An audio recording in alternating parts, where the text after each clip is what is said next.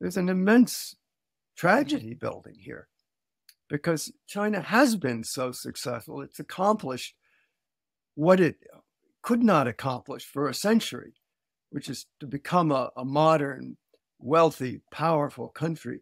And Xi Jinping is now threatening to undermine all of that with an absolutely senseless uh, provocation of almost all the countries around him. The great Orville Schell graces us today with his presence on China Talk. Today, he's the director of the Asia Society Center on U.S. China Relations. Um, and his back catalog uh, changed my life. Um, his book with John Delury, Wealth and Power, I put on my like top three books I'd want people to first read to think about understanding modern China. Um, the Tiananmen Papers was uh, an incredibly sort of formative uh, piece of uh, piece of scholarship for understanding how uh, how the system really works. I'm also a huge fan of his document reader series that he put out over the years on on different phases of Chinese history. And uh, Orville's most recently an author of the sweeping 600 page novel telling the story of modern China through the lens of a family who lived through the 20th century, uh, PRC. Um, this is like an enormous treat for me, Orville. Thank you so much for coming on China Talk. Well, treat for me too, Jordan. Thanks. We're in a tricky moment, it seems. Um, Orville, uh, you you mentioned you've been reading old Lu Xun darkness quotes. Give us one of them, and why is that? Well, you know, Lu Xun really uh, sort of reached the apogee of his writing career as I think the greatest writer of modern China a hundred years ago, and he was obsessed with darkness because all around him he saw darkness, and he wasn't sure how China could ever get out of it. And he did not drink the Kool Aid of Chinese communism. He was a leftist, but he never joined the party and was rather circumspect about it. Um, you know, uh, and, and many people often say to me, well, you're so gloomy.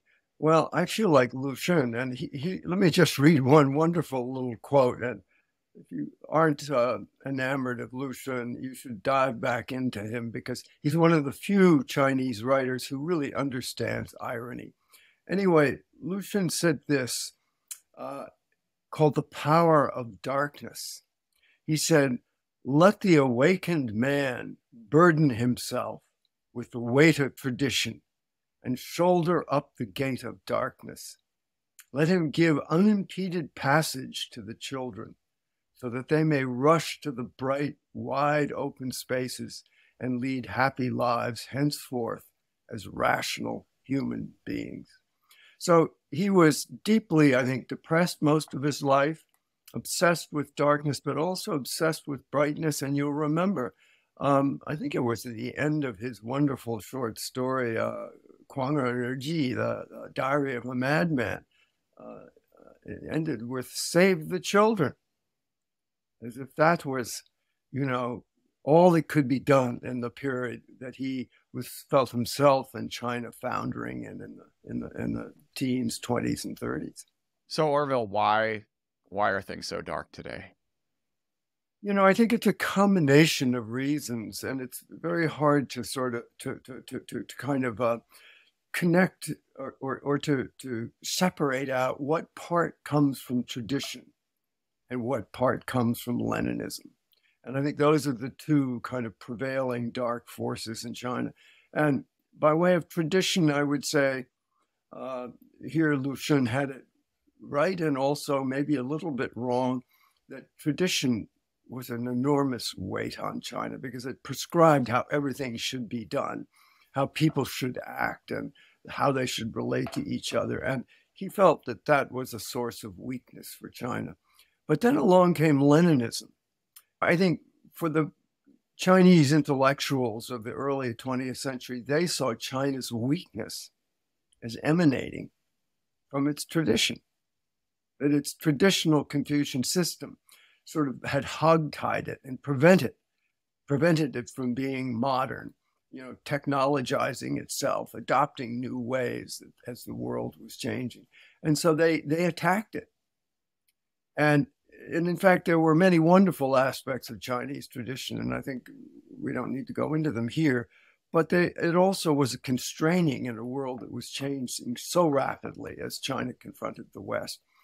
But then into that sort of tradition, remember, China had 2,000 years of um, dynastic government, and and and it was it was um, pretty autocratic.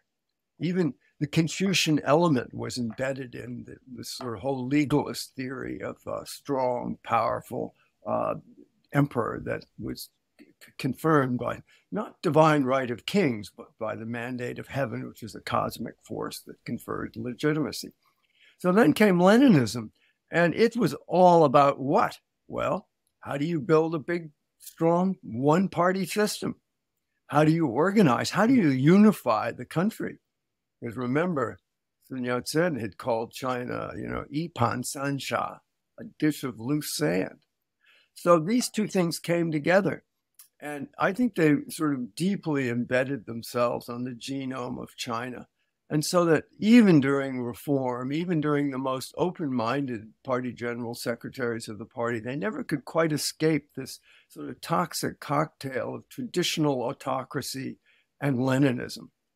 And now, just to jump forward here, after a dalliance with reform and a, and a very tempting few decades when we thought maybe China would peacefully evolve into something else, we find Xi Jinping kind of uh, enslaved by these two powerful traditions of autocracy and control uh, and centralized government and um, sort of reverting back to its old, old, most retrograde habits. So that's why Lu Xun for me is so powerful because he sort of recognized how deeply uh, enthroned these these these two elements were in China's tradition and how hard it would be for China to escape uh, and and become something different. Are there other 19th century or, or pre Kuomintang thinkers or politicians that are other sort of useful reference points to try to understand what's happening with today's China? Well, you know, I, I always loved Hu Shi, who was China's ambassador finally to Washington, went to Columbia to study. I mean, his writing reminds us that there is another side to China, the more enlightened side. And of course, Hu Shi was one of the fathers of the quote, Chinese Enlightenment, uh, the May 4th movement in 1919 and in the 20s. I mean, and he, he really was very sage, a deeply knowledgeable man about Chinese tradition, but also deeply comfortable in the West and the tradition of the Enlightenment. And I mean, he once said a wonderful thing. He said, you know, the only way to have democracy is to have democracy. In other words, you have to experiment with it. It might, might not always succeed, but you can't keep waiting as China and the Communist Party always says, we're not ready for anything as radical as that. Uh, you know, China's kind of backward and it'll take a long time. But Hu Shi said, no, you, have, you, you, you only get to some place you want to go by experimenting with it. And there, so there are many other wonderful thinkers. You know, even Mao Zedong, he's, he's a really good read. Uh, I mean, the guy wasn't stupid. And he wrote some very interesting essays like on contradiction and uh, I mean, if you want to understand the source of China's maladies today, uh, one could do worse than a little uh, tour of Mao's writing. So, um, you know, in trying to understand the psychology that drove Xi to take China in the direction it's going today, um, you, you mentioned previously that the scars of the of the Cultural Revolution and, and just Maoist China more broadly are something that folks really need to grapple with to understand that generation's mindset, um, which is something I think you explore really beautifully in um, uh, in your novel My Old Home. I, expand a little bit on that uh, on that theme, Orville. Yeah, you, you know, I wrote this novel My Old Home because I felt that I don't know how many books I've written, but it's they're piling up, but they're all nonfiction and I felt there was something I couldn't quite get at that was at the heart of China's uh, malady, if you can set, put it in such a way, that needed to could only be got at, gotten at through things like literature, religion, music, you know, and perhaps things like philosophy. And I, I, I, I, that's why I turned to fiction. And really, what I wanted to do with fiction was to counterpose these two different worlds of the Chinese Revolution and Marxism, Leninism, which is all about the outside, rearranging the furniture of the world uh, into revolution, with something that I think it, it's really missed, and that the West actually has wrestled with uh, through largely through religion, and and that is you know interior life. Confucius was concerned about this, so I wanted to, in a sense, counterpose Mao Zedong with Johann Sebastian Bach, and so that's why I chose a musician as the heroes of my my novel because what was Bach all about? He was not about making revolution out there. He was about coming to terms with yourself, your mortality, and your God in here. And I mean, there, there are two absolutely different ways of being in the world. And I think it is the latter that Xi Jinping was deprived of.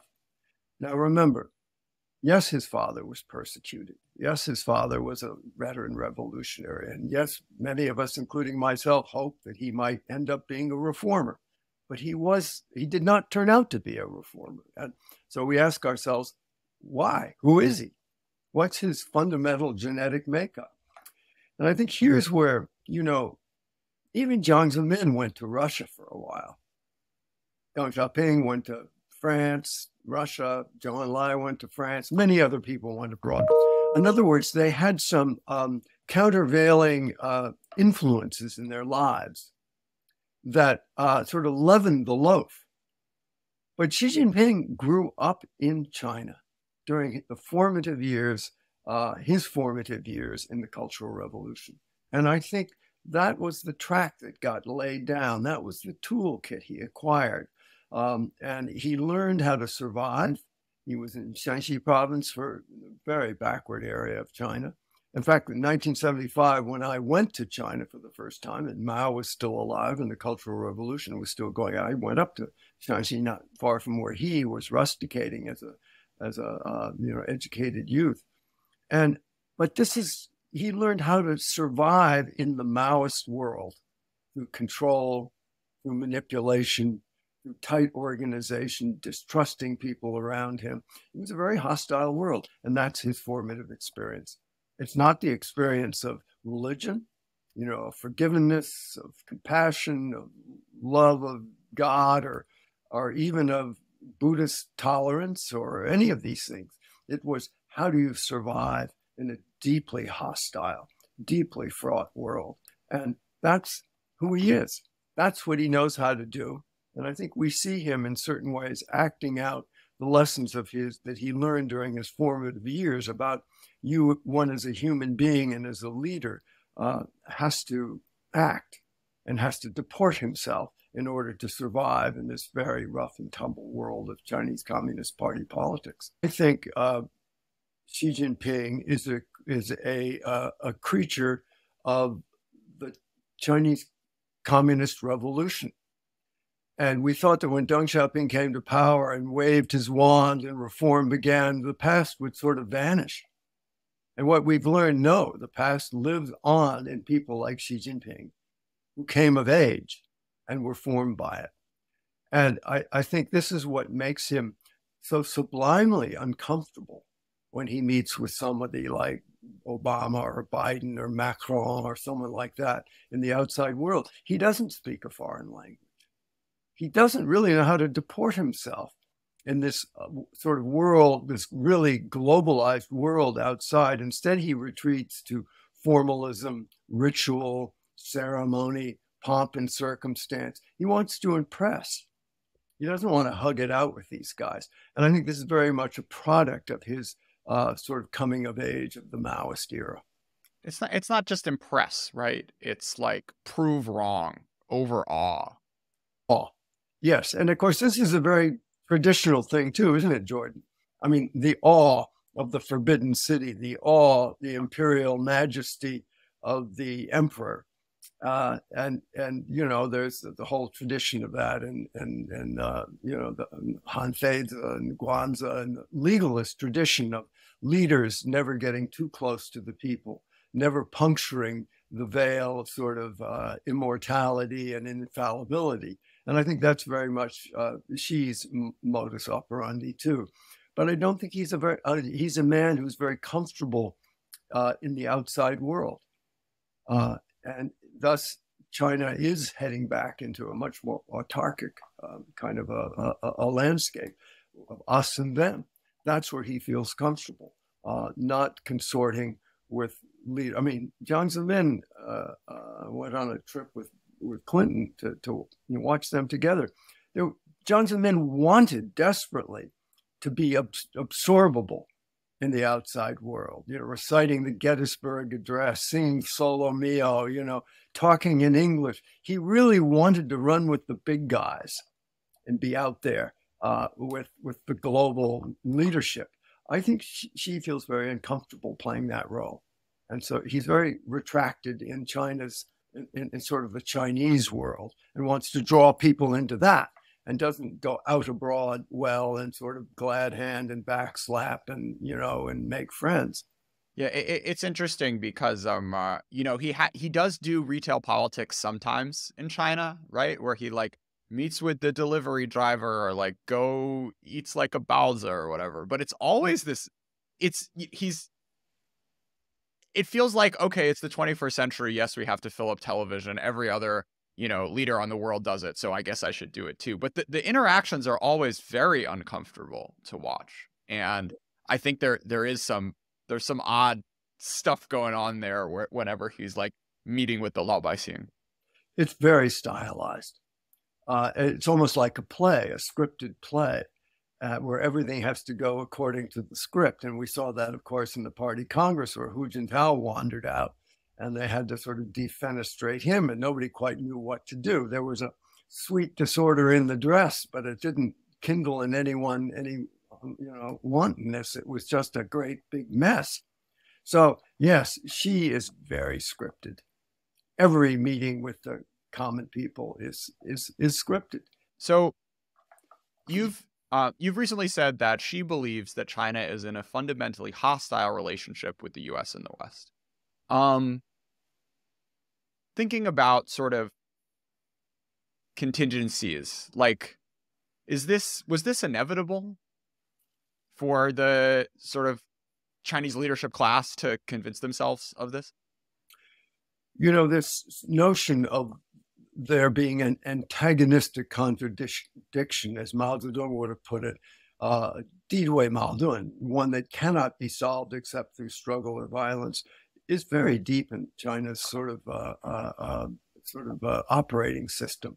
That doesn't mean it's the only thing there but it means that at different times in modern history, the idea of the West is implacable and is only out to engage in regime change, whether through violent uh, war or through what they call peaceful evolution, which is equally as, as toxic for the party. Uh, it's deeply there. And I think in certain times, like Hu Yaobang, Zhao Ziyang, even Jiang Zemin, it was relatively uh, sort of latent but it remained.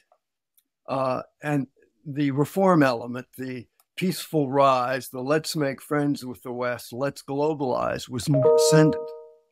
But with Xi Jinping, the notion of, uh, of hostile foreign forces has come back to the fore again. And he deeply believes that there's a, an antagonistic contradiction between us and them, and that we would like to overthrow them, we would like to remove the Chinese Communist Party from the face of the earth. And, you know, in a, in a certain way, he's not wrong. But that doesn't mean we didn't do many decades of engagement and nine US presidents all supported engagement, which was dedicated to trying to slowly work with China, not turn them into ourselves or replicas of Republican democracy, but to make them a little bit more soluble in the global world so that we could at least work together. And for a while, it seemed to be hopeful and promising and possibly even successful.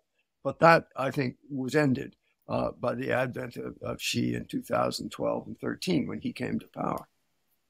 So, I mean, I guess the question then is like, if we're taking as a premise that Xi believed this as soon as he got into power and it was baked into his worldview like did did whatever happened in the you know 2000s and 2010s that led to you know Hu kind of hardening and then the selection of Xi is that do you think that was sort of baked in to the you know what we talked about at the beginning of the sort of like legacy of of of imperial stuff and the and the Leninism, Leninism that's still in the system, or you know were there, um, uh, you know contingencies like around 1989 or even after 1989 that could have played out in a different way. Well, that's that's question I think lies at the heart of sort of the matter. Um, my own view is that China is a deeply unresolved uh, political culture. It doesn't know which direction it really wants to go in. So it goes in one direction for a while and then another. Not so different in many ways from, some other countries that have these, these sort of different political forces at work. I, I think the tragedy was that in 1989, uh, and remember, in the 1980s was an extraordinary period in China where, I mean, I lived through the whole thing mostly in, in out of China. And I, I, I couldn't believe what we were seeing, the, the, degree to which the system was flexing. But 1989 ended that. And that was sort of the tragedy, not simply of the massacre, but that those tendencies of reform were amputated but nonetheless, Jiang Zemin brought them back again to some degree. So that by the time uh, you know he left power, it was relatively hopeful that engagement and, and and the global compact with China involved might still go forward. And then we got this period of ambiguity under Hu Jintao. You've got him claiming the South China Sea, and remember this idea of core interest, which was stuff that you can't negotiate. And that was the South China Sea, Tibet, Xinjiang, you know, other other border regions. And that's when things started hardening up. And then along came Xi Jinping and his whole idea of a national rejuvenation and the China dream.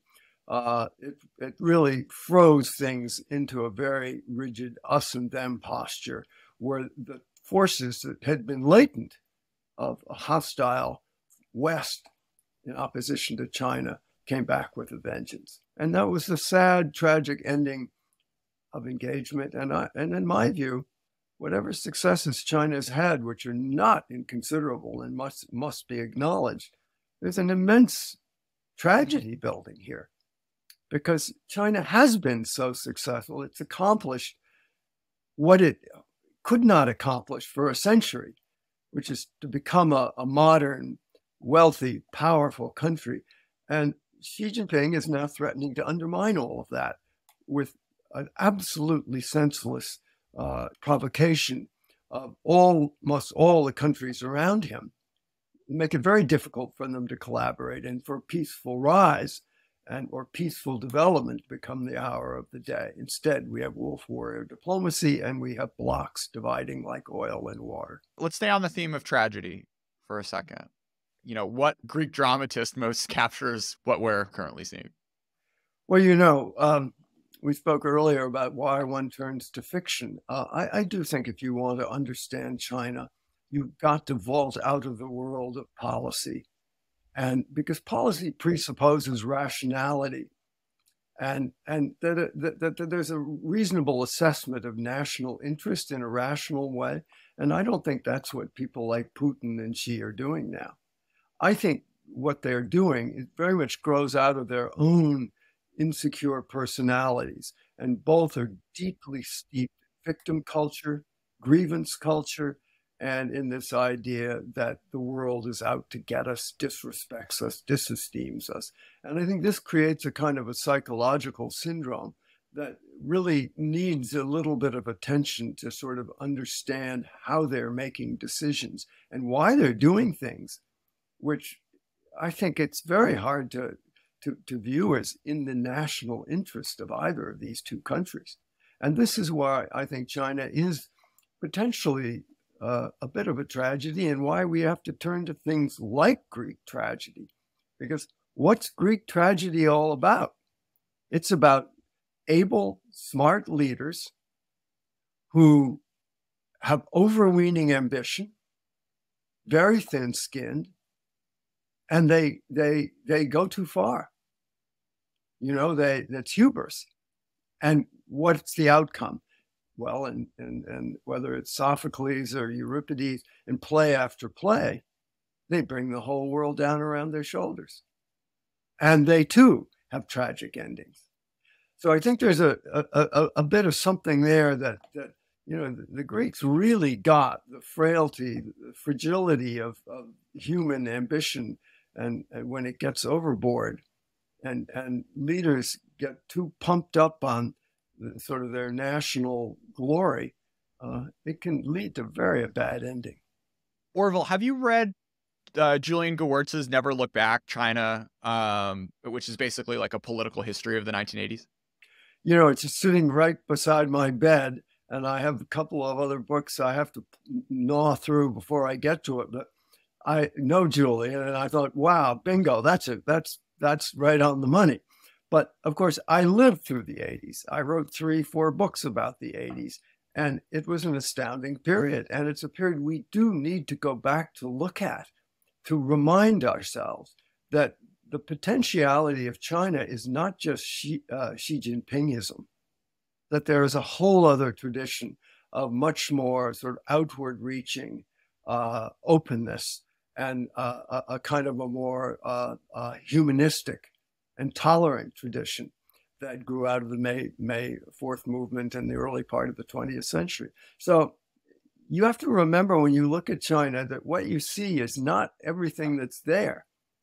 It's what force is ascendant at the moment in the form of the big leader who is ruling, but that there are these other incipient forces that are much different, much, uh, you know, in contradiction with what Xi Jinping is all about.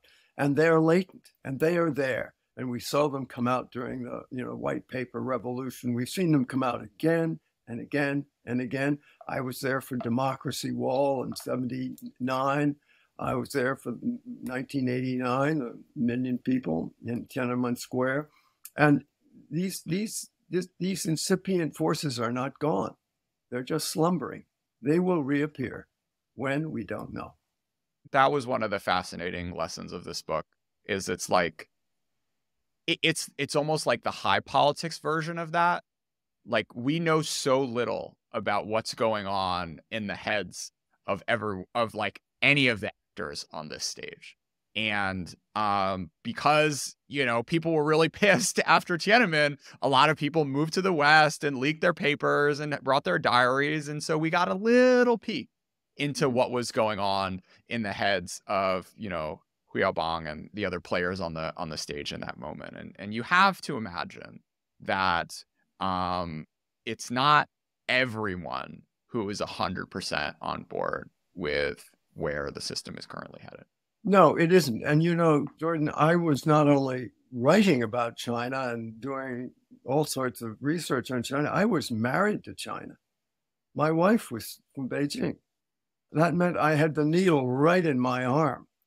I mean, through her, I could see suddenly it was like being conferred with a set of sort of uh, x-ray vision glasses because things that were a little bit obscure to me just as a as a white guy wandering around China. I speak Chinese, but you know, still there's a kind of an impermeable membrane to get through.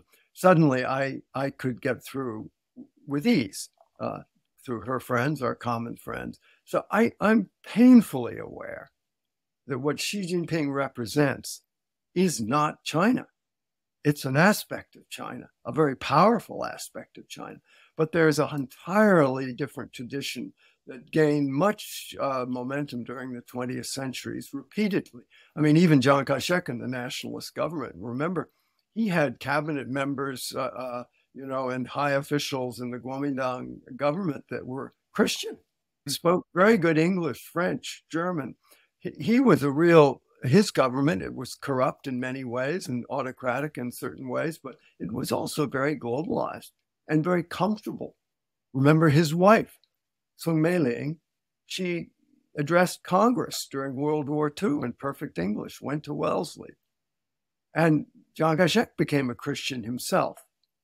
And so was sun yat-sen even though he was also very traditional. What what role does America and the rest of the world have to play in sort of making sure there's enough reagent for whatever else there is in China? Well, you know, uh, I, I think many of us have been quite critical of China of late, but that should not uh, cloud recognition that I think many of us are also children of engagement. And I think engagement was for America, in many ways, a crowning uh, achievement of diplomacy, where we did keep open minded. It was a bipartisan effort to bend the metal of Leninism, to, to, to, to embrace China in the hopes that it could evacuate itself from its very brutal Maoist revolution. And in some extent, it did. So it's a reminder the outside world does have an effect on China. And we, we should keep the door open wherever possible without being simple minded about it and trusting the, the party when it's not deserving of trust. But nonetheless, we should remember that it does react to the outside world. And there are forces within it that we could influence for better or worse. So going forward, I, I, I think even as we feel threatened, and we do need to respond to that threat because it's real, we also, if we want to be a truly great power, we have to try wherever we possibly can to remember that things will change. We've never predicted a single big change that's happened in China. It's just sprung forth like Athena out of the head of Zeus. And then afterwards, we look back and say, oh, I understand that. I see where that came from, but nobody prefigured it.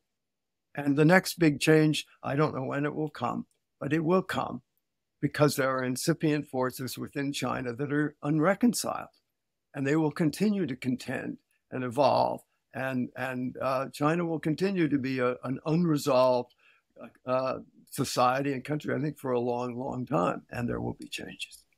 So that's a that's a beautiful place to end the conversation. But I got you for another half an hour, so we're gonna keep going.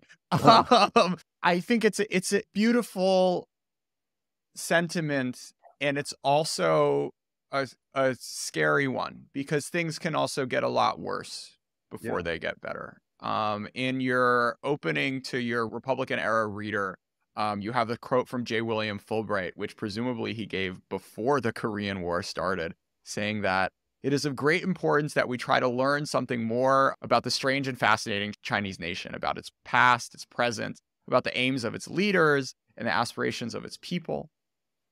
Because we may be heading toward war with each other, and it is essential that we do all we can to prevent that calamity, starting with a concerted effort to understand the Chinese people and its leaders.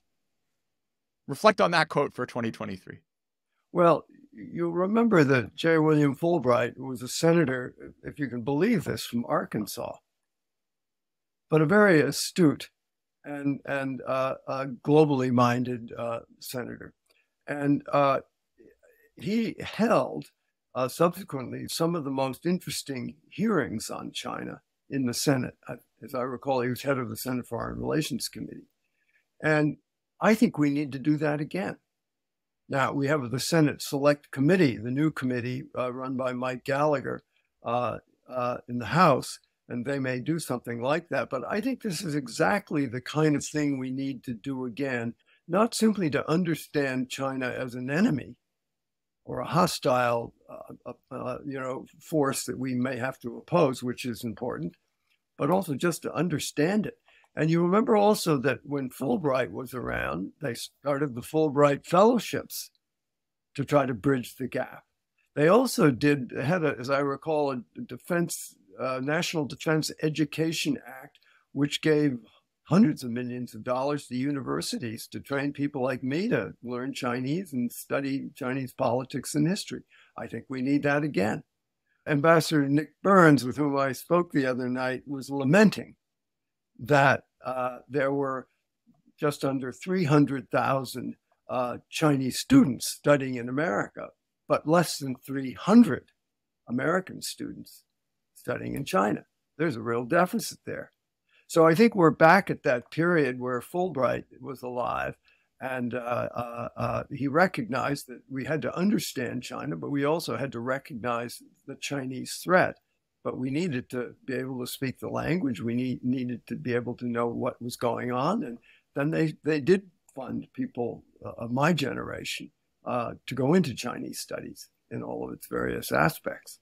So we're we're, we're hitting a lot of inflection points. Um, just a few, just last week, um, CNKI the sort of like Chinese equivalent of JSTOR, which holds like every Chinese every mainland social science paper, decided that you weren't oh you know no one's allowed to access it from outside the PRC, and this is a a sort of uh, a, a probably the um uh, the most obvious manifestation of the idea that this the type of research which foreigners were able to do in China over the past you know 40 years is coming to an end. So I'm curious, Orville, sort of the you know, you you had a um uh, um a long-standing relationship with Franz with Franz Schurmann. I wonder if you could talk a little bit about about him and sort of the the skills and mindset that um, folks need to cultivate to do more of the, you know, watching China from afar, like text-based type um, uh, type analysis.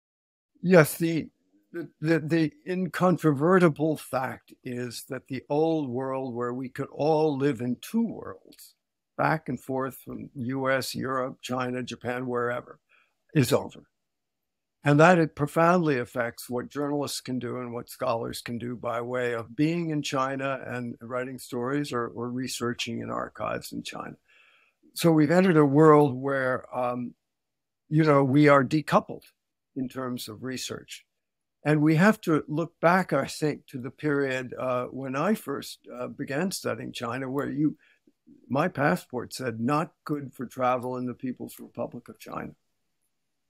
Just big bold letters. And I yearned to go to China. Instead, I had to go to Taiwan and I stayed there and year, year and a half, used to lie on a beach near Keelung at night with my roommates from Taida and listen to a transistor radio and the programs crackling in from the mainland and be very excited by it, but I couldn't go there. But there were some amazing people who, whether they were in Hong Kong or wherever, actually penetrated the veil from afar.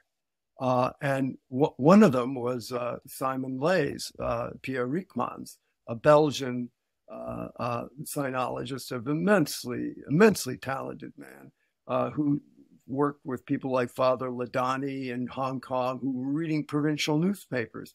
And so, Simon Leys actually nailed China better than any of the panda huggers that we're going to allowed to actually go there and look around and have these sort of very uh, stylized tours. And another such person was my mentor, with whom I wrote three books on Franz Schurmann at University of California here at Berkeley. And he wrote this amazing book called Ideology and Organization in Modern China. And he never been to China. But he it was a kind of guy that just could hoover up a language in about six months, you know, whether it was Afghani or Pashto or Japanese or Chinese. And uh, he, he managed to sort of x-ray from afar the Chinese system, both in terms of its structure and its thinking. And that book still stands. So that's a kind of a craft, which I'm afraid, as China becomes more autarkic, more cut off, more isolated, and more neuralgic to the idea of having China, having foreigners run around within its midst, uh, we're going to have to learn how to do.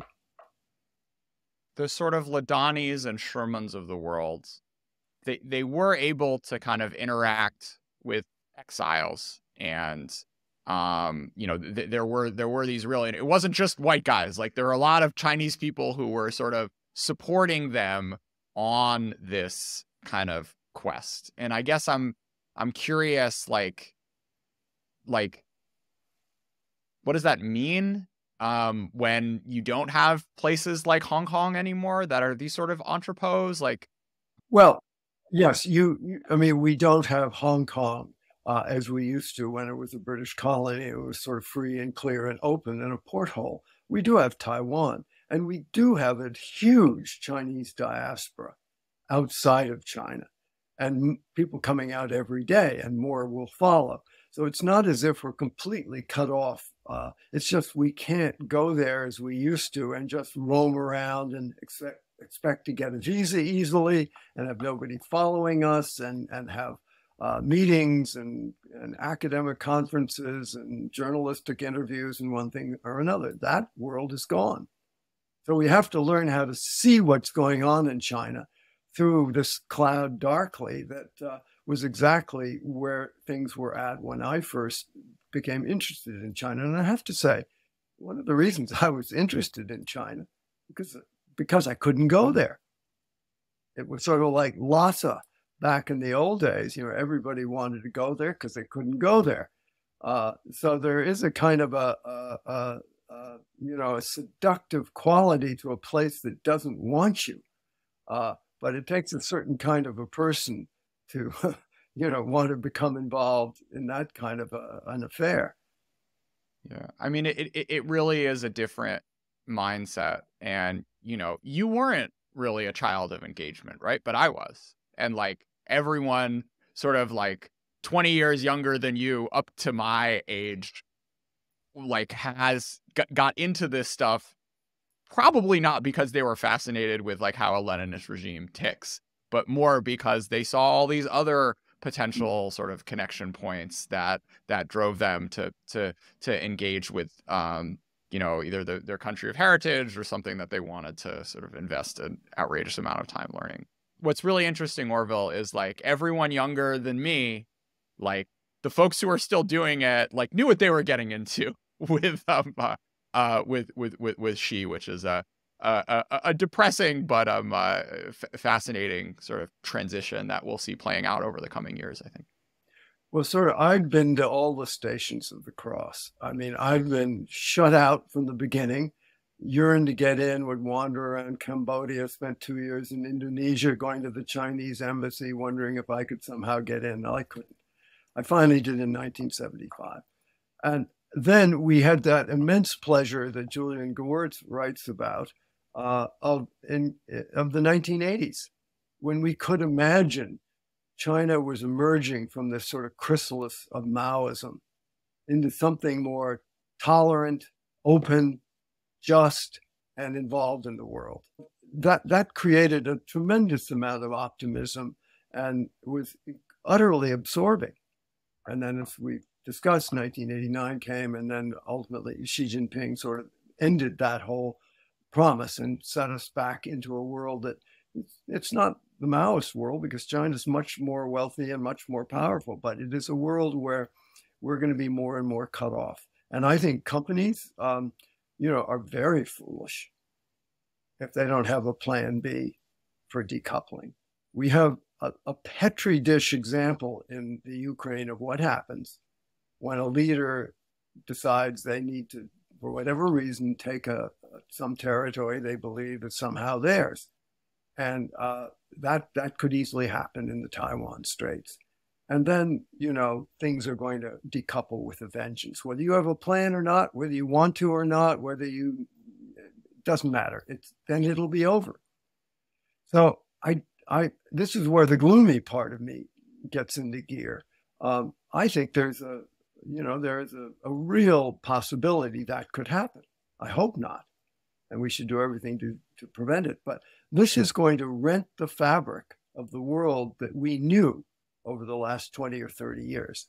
And it, if it does happen, it will throw us back into an irrevocably divided world that will make the Cold War, I think, look rather rather like child's play. Um, I'm going to come back to that, but I want to stay with the personal for a second. So you you you talked about um uh, sort of being on the different stations of the cross, and uh, mentioned to me that like just life is easier when you're when you say when you say and write what you think and and and just try to be sort of like you know be in truth um uh expand on that point before we get back to world war three well i think i've lived my whole life uh even during the 80s the question of access of visas for journalists scholars and businessmen is absolutely critical because without it you're dead if you get excommunicated it's like being you know, uh, ostracized. So the sword of that that sort of sort of Damocles hung over all of our heads, but it became more and more intense after 1980. And the threat that we could be cut off did condition what we were able to say, write, and even think. And I have to say that uh, one thing about the pandemic, when we couldn't go there, I think it relieved a lot of people of that burden. And I myself, you know, at my age, of course, I'd love to go back to China. My wife's parents still live there, and I haven't seen them since she passed away. I have many, many friends who I haven't seen for a long, long time, but I am ready not to go back. And Chinese love to talk about liberation.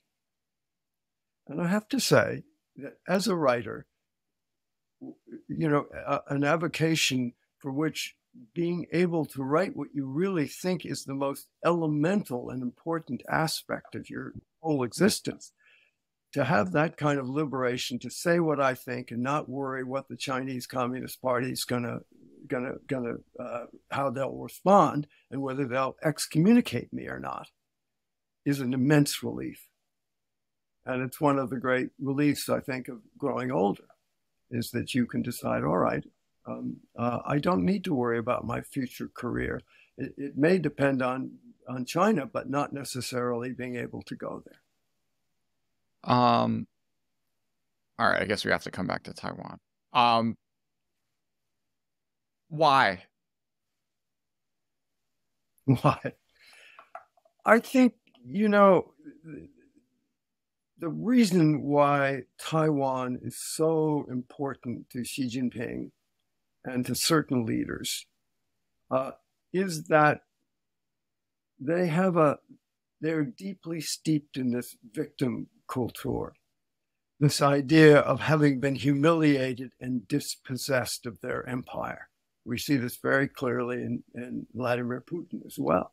I mean ukraine in a certain sense is a kind of a vaguely in his view should be part of russia just like taiwan. So I think there's a sensitivity to the West having uh, been a predatory force that's dismembered China's empire, and the, the urgent need to, to, show strength by putting it back together again, even if by force. Uh, it's it's a bit mutant, but it's powerful. And Xi Jinping has gotten himself really stuck on it. Now, remember that Mao Zedong said to, to Nixon and Kissinger, oh, Taiwan, if it takes 100 years to solve, no problem. And when Deng Xiaoping came to Washington to, uh, uh, normalize relations between the US and China with Jimmy Carter, he stopped in Japan and he said essentially the same thing. He said, let's leave the question of Taiwan to smarter future generations. Now, that's the proper way to do it. Not push it, not force it, and not attack it if you can't get them to willingly submit to your suzerainty. Uh, I fully believe at some point, if we could just say, if Xi Jinping could say, listen, people, Taiwan is ours. At some point, we'll become more open, more democratic, and we'll become more economically involved with them, and they'll find it in their interest to join us. Let's wait until that time and not push it to, to a to a blow up right now. That would be the smart thing to do. Not renounce the claim, but don't push it the way uh, uh, Putin did in, in the Ukraine and blow the world up. And here, I think, is where Greek tragedy helps us understand Xi. He cannot do that because he's a uh, his ambition is too overweening. His sense of uh, any sign of concession evinces weakness, is too repugnant to him. Uh, so we run into a complicated human being who I think is throwing the switch on this in a way that could be catastrophic. Strategic ambiguity. Does it make sense still? You know, it's one of those things that doesn't make a lot of sense. And in the Ukraine, you might say, well, why the hell didn't we let, just let him into NATO? Maybe that would have stopped Putin. Uh, on the other hand, I think, you know, to cancel strategic ambiguity now would be such a provocation, and it would it would hit Xi Jinping exactly at that point of his insecurity and his sort of sense that he is being disrespected and uh, he would take deep umbrage at it and would feel i think he has to respond so i think it's probably best to leave it alone but to arm the hell out of taiwan as deterrence and really ramp up the porcupine strategy to make China feel that Taiwan is indigestible. And it would be very foolish to attack them. Uh, I think that's the best we can do. There's a there's a sort of interesting counter argument that some folks are saying with with with Putin and and Ukraine that like it is a um it is like it it's like impossible for Putin to stomach the idea that he could lose to Ukraine, which is not even, you know, a people in his mind, but um, the sort of maybe the off ramp is like, look, we ended up having to fight NATO, and like NATO's big, bad, and powerful. So, like, okay, I get it. We can't really defeat them. And so maybe that's like the face saving way out. Um, I mean, I guess losing to America is not a face saving. Or yeah, no, I mean, I, I, I think they're incapable of of uh, saying we can't win, it doesn't work. Let's just cut our losses and get out because the matter of face. You know, nobody's written until recently a, a, a book on the question of face in China, which is a deeply uh, important element. Uh, some guy, I just got the book uh, the University of Hong Kong, did just write a book. I haven't read it yet, but this is also true of Putin, the face question. So the, the, these kinds of, again, psychological considerations have to be factored into our policy. And I think wherever possible, we don't want to deny Xi face, but nor do we want to uh, have to engage in the kind of panda hugging that, uh, you know, uh, sort of is, is deceptive and uh, throws us off balance. So I think we really do need to reckon with Taiwan as, as, as something worth supporting, worth defending, both because it has microchips and it is a functioning democracy. But keep the door open, don't violate strategic ambiguity, and wherever possible, seek not to provoke Xi because he's a poor, weak creature and he will respond, even if it's against his national interest and brings the world to a cropper. Um, I want to come back to 1989 and the U.S. response to that moment. Well, you know, I spent the whole spring there watching that demonstration every day going down to the square. It was an amazing period. I think of all of the things that I've ever the actual historical events that I've actually been able to watch firsthand, this was the most monumental and the most interesting. And um, we all know how it ended. And I think what was so striking for me is that when it did end in the Beijing massacre, the commitment of the United States to somehow continue engagement was so strong in first President Bush that he sent his national security advisor, Brent Scowcroft, secretly uh, to Beijing. And he did not even tell Jim, Lim- Jim Lilley, his ambassador. It was that secret. And Scowcroft went to see uh, Deng Xiaoping, who was deeply, I think, hurt and wounded by what had happened.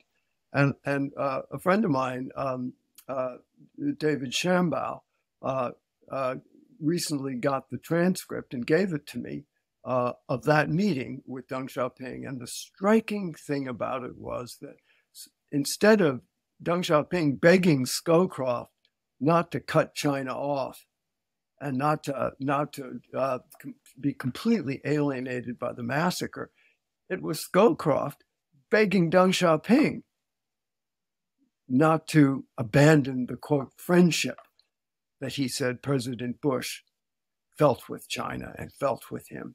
And Deng Xiaoping was just uh, just heaping the criticism on Scowcroft saying, you caused this, your peaceful evolution, your democracy, you know, uh, uh, agenda was what caused this. And Scowcroft is saying, please, please, please, we want to be friends with you. We want to keep the relationship going. And it was very uncertain what the outcome was going to be. What did that say? That said to me that the United States of America went the last measure of devotion to keep this relationship, this of engagement with China, operable. And it, it also suggests that, you know, in a certain sense, as we see now under Xi Jinping, it was China that destroyed engagement, not the United States.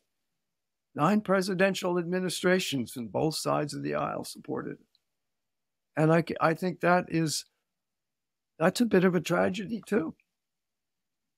It is an interesting hypothetical if at that moment the um, the sort of consensus around engagement ended up becoming much more of a political debate in the US and to what extent perhaps Beijing leadership may have looked at that and understood what they could potentially be losing out on um, if if the U.S. Uh, really made contingent, uh, you know, put more put put much more aggressive strings attached when it came to domestic Chinese governance on what the U.S. was willing to engage with uh, China uh, economically in the in the 90s and 2000s. I mean, I think that's wrong because I think I think Deng showed and the system showed its cards of where it stood on that stuff. That this was that having the CCP be the preeminent like uh, and sole political voice in China was the thing that mattered more than anything. But curious, maybe Orville like had the if if if H.W. Bush and Scowcroft and then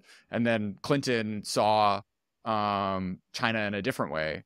Um, it, you know, deep really saw China in a different way post '89. How that might have uh, that that timeline might have played out. Well, we might have gotten to where we are now earlier, uh, but they they they kept a steady course, and uh, you know, uh, Clinton went to China and got along quite well with Jiang Zemin, and uh, you know, they we gave them permanent most favored nation status, let them into the WTO in 2001. Uh, I, I, think America really did make an extraordinarily good faith effort to keep engagement going. Uh, and uh, it, it, did keep going. And I remember being in China in the 1990s and hearing people proclaim peaceful rise, you know, Jie. And that was good. And it could have worked. But that these other incipient tendencies of viewing the West as antagonistic, which came directly out of, out of Lenin, you know, his theories of imperialism. There's an insoluble contradiction between the imperialists and the imperialized, the colonialists and the colonialized, on and on and on and on and on. So, uh, uh, I could you say this was destined to happen and we shouldn't have tried? My view is no, we should have tried. We did try. It was a good try. And there were times when it actually might have worked. In the end, it didn't. And we're reverting now to the old model uh, the retrograde model that uh, Xi Jinping grew up with. And it's very frightening. And it could have catastrophic consequences for the world. So, sort of legacies of, of the 80s and, and early 90s, the, the ghost of Chen Yun haunting Xi today, I think is something that really not a lot of folks have appreciated. It is like shocking to me that there's only one monograph from like 1994 in English about Chen Yun. Um, but uh, how, how do you see the sort of way that he saw the world in terms of, you know, spiritual pollution and, um, you know, the way that the, the market should, you know, the, the state should uh, be influenced in the private sector and just governance in general echoing in, um, uh, in today's China? Well, there have always been these contending forces uh, you know, more Marxist Leninist and more sort of uh, open to the outside world in contention within China. And during the 80s, Chen Yun represented the more sort of conservative forces. And then when after 1989, they gained ascendancy again for a while. So it isn't as if Deng Xiaoping, after he waved his wand in 1978 and 79 and started reform, all the, the revolution all of the old thinking went away. It went kind of into hibernation in people like Chen Yun. And, uh, but it was there. And it came back at times when, uh, you know, he could say, see, I told you so, like after 1989. So, and we see this, it's like a barber pole, you know, it just goes around and around and around. And there are different mixes of these different forces at different times as, as they wax and they wane. Um, and I think this is the part of China that if we could get some major new study program going, we would want to emphasize that China is a state, uh, is, an, is a state, a society, and a nation in a deeply resolved state of ambiguity. And we, you know, the Americans even are somewhat ambiguous, but at least we have our foundation documents at least we sort of have a basic compass course. China doesn't. And I don't think the Chinese Communist Party and Leninist theory is going to be ultimately what guides this country forever. And it's going to have to morph and evolve into something else, and it will. Let's close on some book recommendations. What do you think? What do you think folks should be reading nowadays, Orville? Well, you know, one writer I've turned back to just because he nailed it back in the 60s when everybody else was kind of bumping around in the dark, not sure whether to panda hug or, or be anti communist, with Simon Leys. I mentioned him earlier. And there's a wonderful, wonderful book uh, that uh, a man called Philippe Paquet wrote about him. And I think what is makes Simon Leys such an extraordinarily uh, important figure is that he didn't allow himself to be blown off course from what he was seeing and discerning and understanding about China past, because he was a deeply knowledgeable uh, classical uh, sort of Chinese scholar, but also the present. And he went to the Belgian embassy right after he wrote China Shadows. Uh, it was in 19, just after the Cultural Revolution began as the cultural attache, he had to change his name. That's how he got his name, uh, Simon Leys, because he couldn't use Pierre Ryckmans because he was going to be in the Belgian embassy and that he had this very anti-communist book coming out. And he wandered around the streets of Beijing and he just looked at what was happening to all the monasteries, temples, historical sites, and he wrote what he saw. And he had it absolutely right when everyone else was saying, well, we, you know, maybe Mao Zedong has got the answer, and you know, the French Maoists were just out of control. And Simon Leys went on television and radio with them in France, and he really, he really gave them a whooping. They didn't know what the hell they were talking about. You know, Andre Malraux and all of these leftist Italians and French. So read him if you want to see someone who is not distorted in his thinking by whatever forces or access or business or other interests they may have, read Simon Leys. There's a beautiful uh, essay collection that was published about a decade ago called Hall of Uselessness. Um, yeah. And it's just you know, I love these like Renaissance guys. I mean, he's writing about Victor Hugo. He's writing about classic Chinese classical poetry. Um, it's just an incredibly, uh, you know, great like tour through a remarkable mind. And he wrote a novel about Napoleon. Uh, no, listen, I like these people who are, when you read back, he's he passed away, but you, you can see they're absolutely true to what they see, and they're not allowing the friendship association or the academic tenure process or whatever to distort what they're seeing and understanding. And I think we need more of that, not posturing, not political, uh, you know, sort of uh, prejudice, but people who see clearly, speak honestly, write succinctly, and just say what they see. Okay. More more books, please. Well, you know, I, I, I can mention books that I found really important. Um, uh, there, there, was a book by Deng Siyu and John Fairbank, which is a collection of translations of Chinese works from the late Qing dynasty, which are really interesting.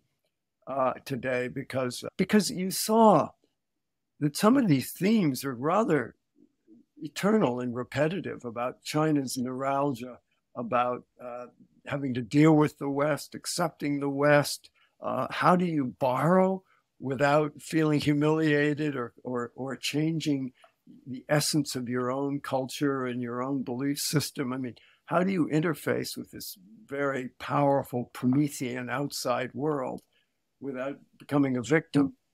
or without becoming a, a you know a, a subservient.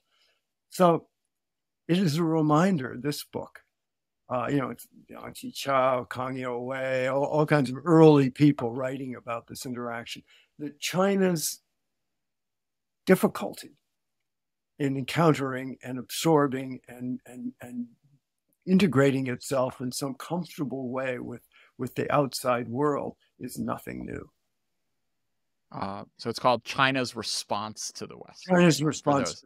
Yeah. yeah, yeah, yeah. So this is the thing is like going through your and other documentary readers. I love like like document collections, but the problem is like the past two decades, man, the writing has gotten a lot worse. It's just it's um uh it's it's it's really you know, at least Mao he was like very dramatic and there's all this craziness, but but now it's just this like bureaucratism, which is such a bummer to to spend all your all your day reading. Uh, Jordan, my colleague and uh, Kevin Rudd, uh, who's now becoming ambassador to Washington from Australia, had the he got his DPhil recently from Oxford by reading all of Xi Jinping's speeches. I mean, how the hell he did it? I mean, that's like eating styrofoam for me. But he actually did it and extracted from it, I think some, you know, Xi Jinping, it's all there. He said what he's going to do, but it's just incredibly turgid uh, and not very interesting, except if you really want to under. It's like reading corporate reports. Yeah. So I, I think you know we're back in that world. We've got to read this stuff because that's our window, and and and if we close that window and we can't go there, we'll be flying blind.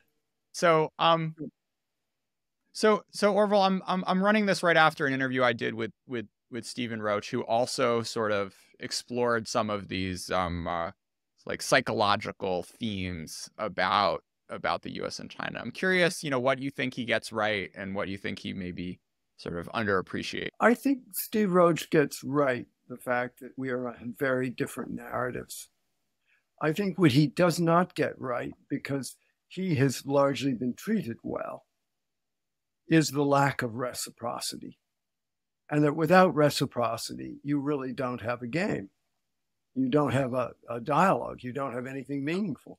So until I think China is willing to reciprocate, uh, I think we're never going to be able to transcend our different dialogues and our different narratives and and and I think that that that's an important recognition to have that it is actually has not been the United States, and I've been very critical of our government over my life lifetime that has prevented that. Now we may be heading into a territory where Republicans and Democrats both, you know, are down on China and make that more difficult. But up until now, everybody's been trying to keep the damn door open. Even Matt Pottinger said to me all during the Trump administration, the door is open. Please come through. And that takes reciprocity. So that's where I think Steve, um, you know, his his his sort of analysis uh, uh, is found a little wanting. Let's close with some recording. Um, I really enjoyed all the Bach in your in your Cultural Revolution novel. Um, just for, for some context for folks, the story is there was a um, uh, you know a, a, a Chinese man who trained in the West and then ended up moving uh, you know was a was a pianist ended up moving back to China and then his kid was a flutist and of course you know they get they get purged and have not a lot of fun but sort of throughout the whole novel like we end up coming back to various um, uh, pieces which you which you very de- dexterously pair with um, sort of moments in the in the plot um, I'm curious, Orville. I don't know. Are there any are there any sort of recordings that um um, have really stayed with you over the years? You mean of music? Yep, Bach, Bach recordings. I mean, listen, we'd be here all night if I started telling you the the, the I mean, I, I adore Johann Sebastian Bach, and um, I felt I wanted to take Bach to China. And I tried to do that in this novel because, as I noted, he is sort of the absolute antipode of everything the Chinese Communist Party is all about. My other great aspiration, Jordan, from a musical perspective, uh, is to take Beethoven's Fidelio to China, the, his one opera, absolutely gorgeous opera. And what's it all about? It's really a human rights opera about a man who, because he believes in, in, in rights, becomes imprisoned. And his wife dresses up as a man because as names herself Fidelio, you know, faithful. And she goes and she manages to get into the castle of the evil Don Pizarro, where her husband is imprisoned, and befriends the jailer, and and the jailer's son falls in love with uh, our daughter falls in love with her as a man, even though she's a woman, gets down into the prison. And anyway, it's a long and wonderful story. Um, if I could take Fidelio to China with a few Bach cantatas, I would consider my life complete.